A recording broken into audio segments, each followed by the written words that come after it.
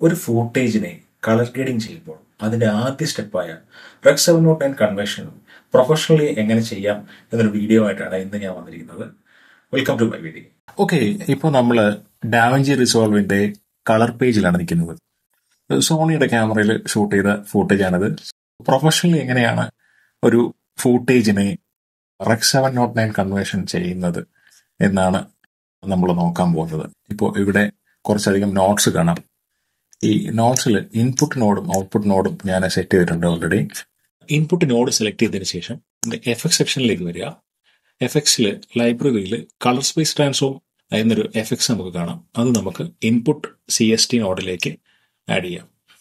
C S T എന്ന് പറഞ്ഞാൽ colour space ട്രാൻസ്ഫോമിന്റെ ഷോർട്ട് ഫോം ആണ് സി എസ് ടി ഫസ്റ്റ് നോഡിലേക്ക് ആഡ് ചെയ്തതിനു ശേഷം ഇത് ഏത് ക്യാമറയിലാണ് ഷൂട്ട് ചെയ്തത്? ആ ക്യാമറയുടെ സെറ്റിംഗ്സ് ഇൻപുട്ട് കളർ സ്പേസിലും ഔട്ട്പുട്ട് ഗാമയിലും സെലക്ട് ചെയ്ത് കൊടുക്കാം. ഓക്കെ ആദ്യമായിട്ട് നമുക്ക് ഇൻപുട്ട് കളർ സ്പേസ് നോക്കാം. Sony S gamut three dots ഇനി സെലക്ട് ചെയ്തതിന് ശേഷം ഇൻപുട്ട് ഗാമ നമുക്ക് അപ്ലൈ ചെയ്യാം. ഇൻപുട്ട് ഗാമ ഇത് സോണിയുടെ എസ് ലോഗ് ത്രീയിലാണ് ഷൂട്ട് ചെയ്തിരിക്കുന്നത്. നമുക്ക് എസ് ലോഗ് ത്രീ സെലക്ട് ചെയ്ത് കൊടുക്കാം. അതിനുശേഷം ഔട്ട്പുട്ട് കളർ സ്പേസും ഔട്ട്പുട്ട് ഗാമയും സെറ്റ് ചെയ്ത് കൊടുക്കാം.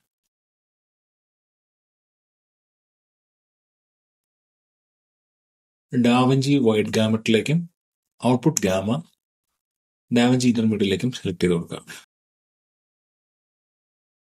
അതിനുശേഷം out C S T node select ചെയ്യുക.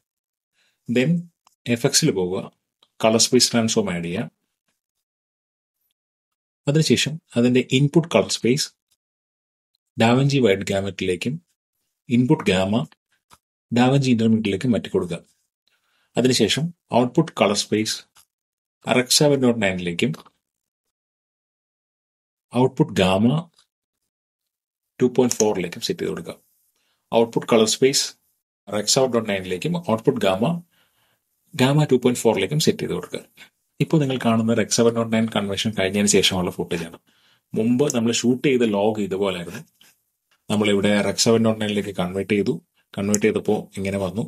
ഇപ്പോൾ ഇതാണ് നമ്മളുടെ ഏറ്റവും ബേസ് ആയിട്ടുള്ള അല്ലെങ്കിൽ പ്രൊഫഷണലി യൂസ് ചെയ്യുന്ന ഒരു മെത്തേഡ് ഈ മെത്തേഡ് മാത്രമല്ല പലരും പല രീതിയിൽ ലട്ട് ഉപയോഗിച്ചിട്ട് കൺവേർഷൻ ചെയ്യുന്നുണ്ട്. സി എസ് ടി മറ്റു രീതിയിൽ ഗ്രൂപ്പ് ചെയ്ത് ചെയ്യുന്നു. ഇത് പ്രൊഫഷണലി യൂസ് ചെയ്യുന്നതിൽ ഒരു മെത്തേഡ് മാത്രമാണ്. ദെൻ നമുക്ക് ഇവിടെ അടുത്ത നോഡ് സെക്കൻഡ് നോഡിൽ ബാക്കിയുള്ള കറക്ഷൻസ് ബേസിക് കറക്ഷൻസ് ചെയ്യാൻ നോക്കും. അത് നമുക്കൊരു നെക്സ്റ്റ് വീഡിയോ ആയിട്ട് നമുക്ക് ഇടാം ഈ ഫുട്ടേജ് കളർ ഗ്രേഡ് ചെയ്തതിന് ശേഷം അതിന്റെ ഫൈനൽ ലുക്ക് ഇതാണ്.